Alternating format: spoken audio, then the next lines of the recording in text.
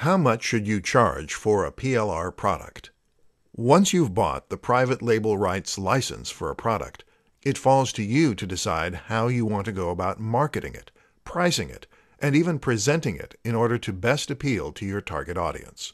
For all intents and purposes, this is now every bit your product, and entirely yours to decide how you want to go about selling. So if it's not selling as it should, it's likely something that you can fix by simply tweaking a few variables.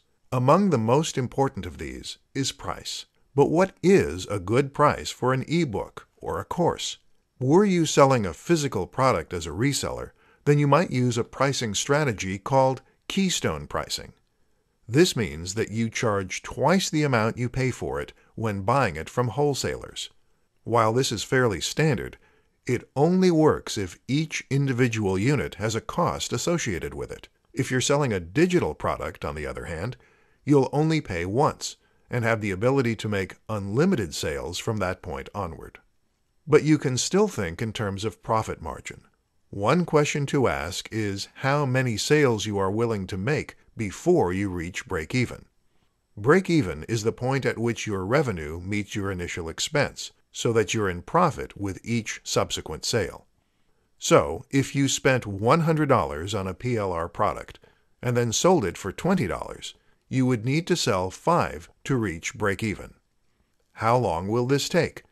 And how does that fit with your cash flow?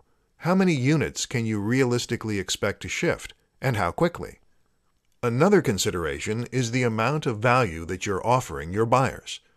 It's very important that your book or course appears to offer value for money, but in reality, your buyers won't know for sure until they actually own it and can start reading it.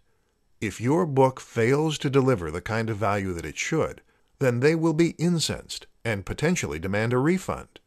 At the very least, they will be highly unlikely to order from you in the future.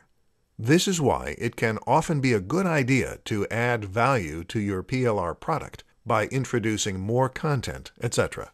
Eventually, this would allow you to charge a large amount and still feel confident that you are delivering value. For more free educational content, visit learnforfree.biz. Content produced and distributed by AllSuperInfo.